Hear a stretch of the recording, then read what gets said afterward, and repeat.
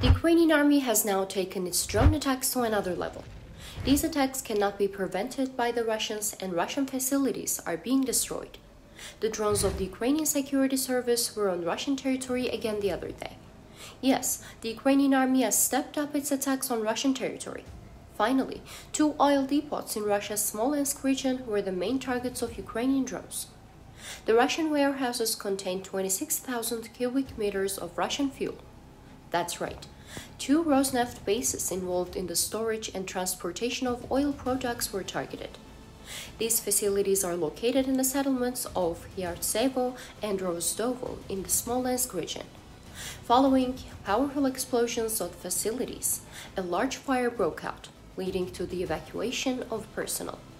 Ukraine continues to effectively destroy military infrastructure and logistics that feed the Russian military. Russian authorities have also reported fires at energy and fuel facilities. Indeed, the governor of Smolensk region, Vasily Anokhin, said that fires broke out at two facilities in two regions of the region. Satellite images confirmed a large fire of at one oil depot.